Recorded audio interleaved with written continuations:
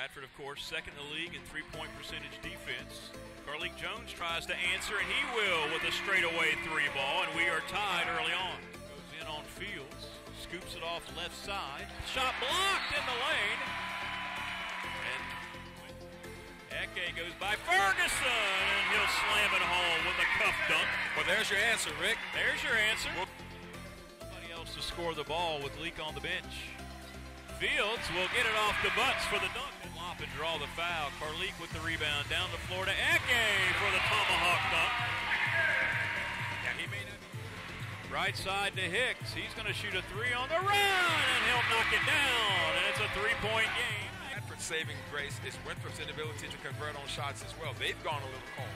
Fields, an NBA range three. Are you kidding me? Fields. That was tipped on the way up. It looked like, but he hit it.